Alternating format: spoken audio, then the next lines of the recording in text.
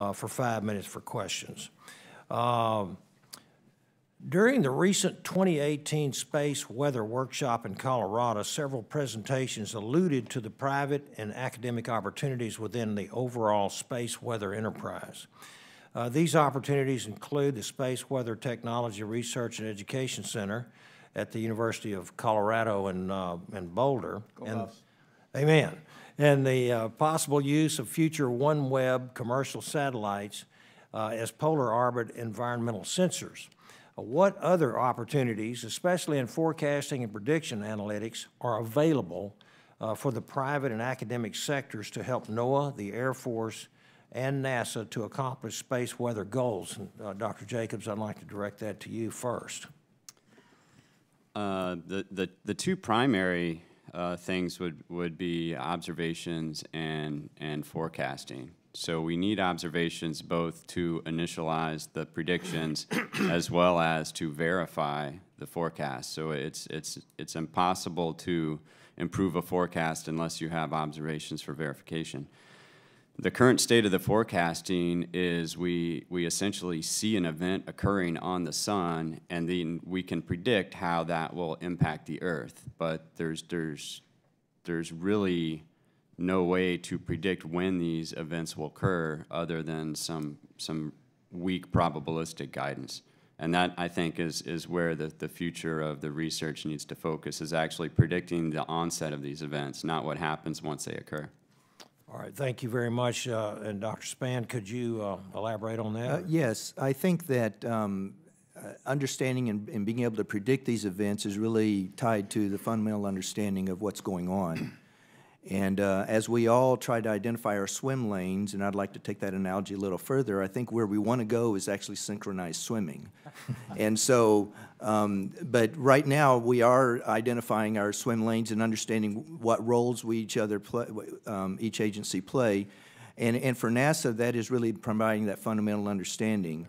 And uh, as we um, not only um, have uh, launched these new missions, which are really targeted, we also have a, a new uh, space weather application, science application program that we're rolling out, which will uh, allow competed opportunities very specifically tied toward transitioning the science uh, research uh, to the, an operational scenario. And that will certainly engage the academic and industry uh, very heavily. And so those are the two areas where I would say um, where we can get to the synchronized swimming scenario.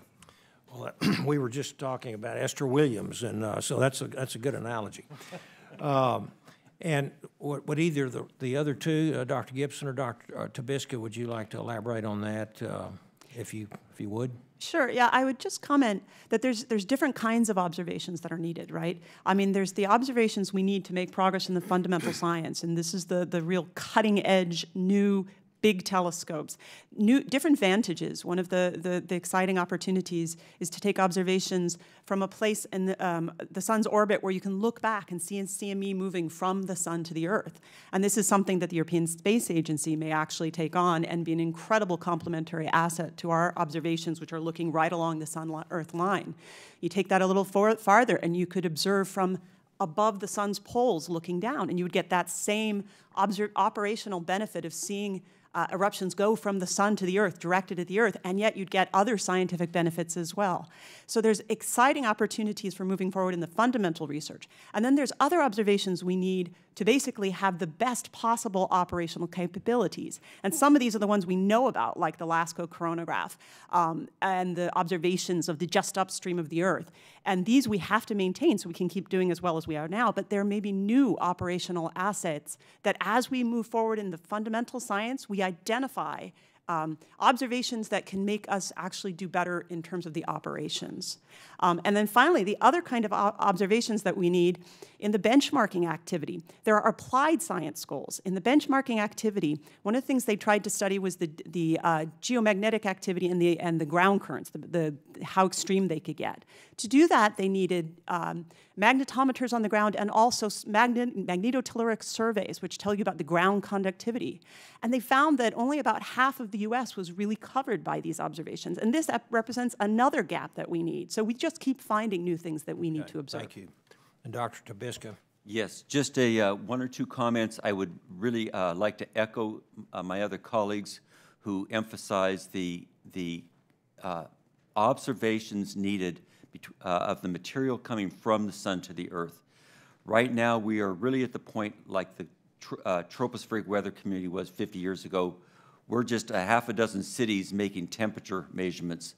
We can't predict when the snow is going to cover, come over the mountain unless we look out the window. Now, we, we need to have the thousands and tens of thousands of measurements in that realm. They don't exist yet. Plus, there's other measurements all downstream for other technologies. But if we could solve that viewing of what's coming at us from the sun, knowing the velocity and the directionality of it to get the magnitude, that would be a big deal.